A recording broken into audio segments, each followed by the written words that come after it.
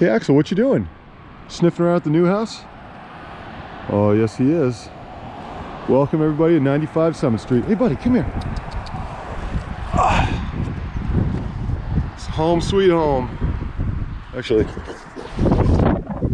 defog the lens a little here. So, you got here this nice little turnaround.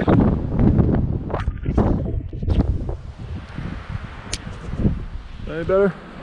Yeah, I think that's a little clear. Sorry guys. So we got a nice little turnaround, which will be really slick, but we just got about an inch and a half of rain yesterday, so the driveway is super muddy.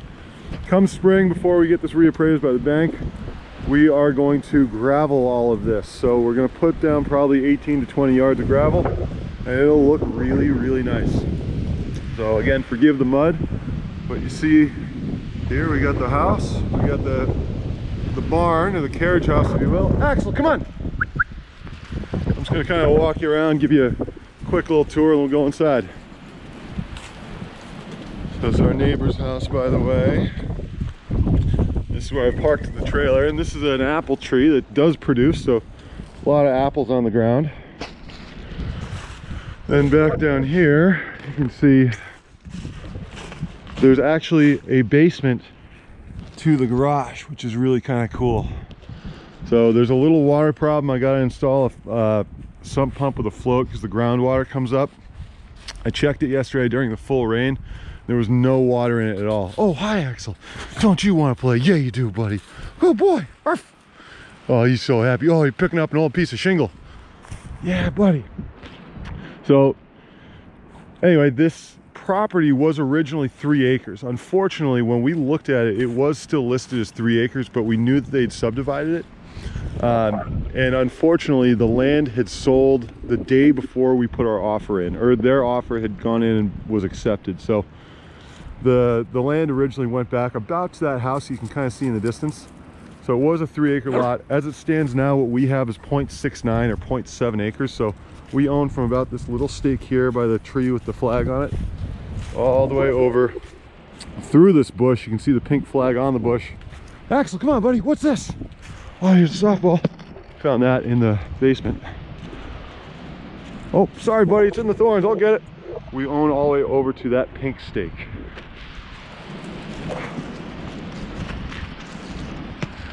And then, so where the new driveway is going to be for the next house is going to go down through these brambles, back through there, and then they're going to build somewhere back there but about half or more of that back there is wetland so they're going to be a little restricted as where they can place their house which you know we'll see who winds up behind us but until then we got a nice wooded neighbor it's coming up this side. You can tell the house needs a little TLC so this we've got this shed here which currently we have a lot of excess building material. Um, and additionally we've got our our mower and such in there. And then the house had a couple different heating systems. It had an oil burner, um, it had a coal stove in the basement, and it also had a kerosene stove in the kitchen.